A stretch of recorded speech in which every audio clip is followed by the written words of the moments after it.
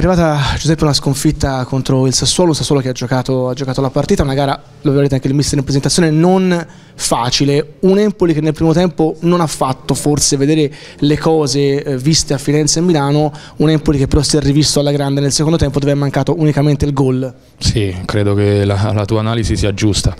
purtroppo il primo tempo abbiamo, abbiamo sofferto, non, non, siamo entrati forse con la, con, la giusta, con la, giusta, ignoranza, con la giusta cattiveria di non perdere, di non perdere la partita, loro hanno giocato, hanno giocato in maniera vera, in maniera decisa, in maniera ignorante, forse anche più di noi, di noi nonostante la classifica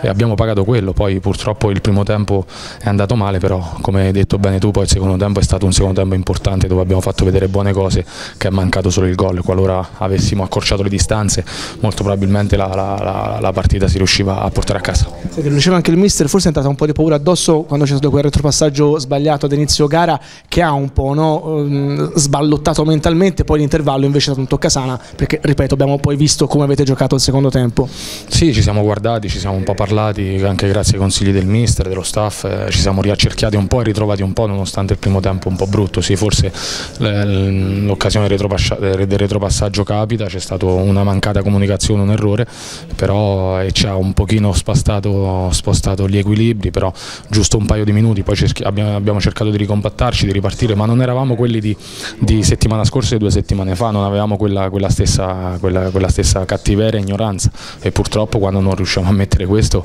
eh, ogni qualvolta non siamo riusciti a mettere questo non abbiamo portato punti a casa. Ti chiedo da un punto di vista tattico cosa è successo sul secondo gol del Sassuolo dove tu e Federico vi siete ostacolati a vicenda?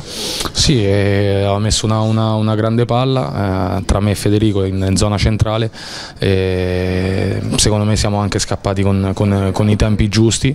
mm, e poi è mancata la comunicazione o da parte mia o da parte sua perché purtroppo nessuno dei due ha comunicato e molto probabilmente perché lui non vedeva me, io non vedevo lui, siamo andati tutti e due sul pallone e, e abbiamo fatto la frittata eh, purtroppo, purtroppo, gli errori ci sono e setti nelle settimane scorse li abbiamo, li abbiamo limitati. Eh, colgo anche l'occasione per fare i complimenti a Federico perché ha fatto due ottime partite. E poi purtroppo gli errori ci sono da parte mia, da parte sua, da parte di altri. Abbiamo, dobbiamo cercare di eliminarli come è successo nella, nelle partite precedenti dove ci sono stati pochissimi errori individuali e siamo riusciti a portare a casa la partita. Senti, la filosofia adesso deve essere quella dei piedi per terra. Non ci siamo esaltati al di là insomma, della gioia emotiva per le vittorie di Firenze, quella di Firenze un po' sì onestamente, quella di Milano non bisogna reprimerci adesso, sono quattro gare, il destino è nelle nostre mani e questo deve essere l'arma in più. È solo ed esclusivamente, ma dall'inizio non è solo adesso. Eh, no, come anche dicevo in settimana dove ho fatto un'intervista, eh, la cosa principale che doveva esserci dopo le due vittorie eh, doveva essere l'equilibrio e quindi tanto, tanto, tanto di più quest'oggi dopo una sconfitta interna brutta che nessuno si aspettava ma come molto probabilmente nessuno si aspettava le due vittorie fuori casa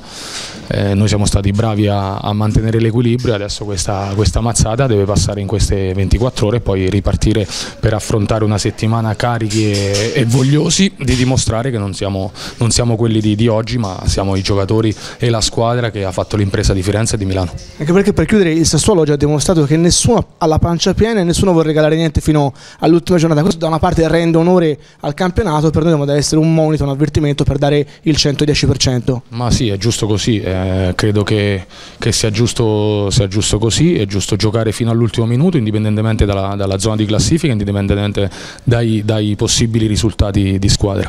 Eh, è giusto continuare su questa, eh, su questa, strada perché poi chi è più forte, chi ha più valore e chi ha più organizzazione eh, si tirerà fuori e si salverà. Alessandro, una vittoria costruita soprattutto nel primo tempo, poi nella ripresa avete sì trovato il terzo gol, ma avete badato più che altro a contenere le sfuriate dell'Empoli. Sì, sì, sì, siamo stati bravi appunto a, a, gestire la partita dopo una volta raggiunto il vantaggio e poi alla fine l'Empoli ha provato ad attaccare, è stato bravo il nostro Andrea così a fare due belle parate, però Credo l'abbiamo gestita bene come partita, non era facile perché comunque l'Empoli si sta giocando la salvezza, sapevamo di affrontare una squadra appunto con, che ha voglia di salvarsi e noi credo abbiamo avuto un atteggiamento ottimo perché comunque dopo è facile dire che era, era, scontata, però queste partite non sono mai scontate e abbiamo dimostrato di essere grandi professionisti. Vi aspettavate magari forse un Empoli un pochino più aggressivo? Ma l'Empoli comunque ha, fatto, ha creato, ha fatto la sua partita, noi comunque abbiamo avuto delle, delle belle occasioni siamo riusciti a trasformarle, cosa che magari l'Empoli non, non, ha fatto. Per, eh, probabilmente noi dobbiamo stare un po' più attenti nel finale a concedere un po' troppo. Cosa non è mancato in questa stagione del Sassuolo che a noi ha fatto 6 gol tra andata e ritorno per non fare un campionato non dico uguale ma sulla falsa riga di quello dello scorso anno? Ma c'è l'impegno d'Europa che un po' comunque ti toglie un po' di, di forze, poi un po' di infortuni ci hanno sicuramente penalizzato perché abbiamo perso giocatori importanti per lungo tempo e poi quando entri comunque in periodi negativi non è mai facile uscirne e abbiamo fatto dei filotti negativi che ci hanno penalizzato appunto la classifica. Ti chiedo se, se l'Empoli, anche quello visto oggi, è squadra che può comunque avere le carte a regola per trovare il quarto ultimo posto e mantenere la categoria? Ma comunque è tutto il campionato che è, fuori dalla zona retrocessione, quindi sta dimostrando di di poter rimanerci e adesso si è accesa un po' più verso la fine la, la sfida per, per, la salvezza. Hanno quattro, quattro, giornate per dimostrarla, comunque mi sembra una squadra ben allenata, ben organizzata e, e viene da due risultati anche comunque importanti, positivi. Grazie mille. Grazie.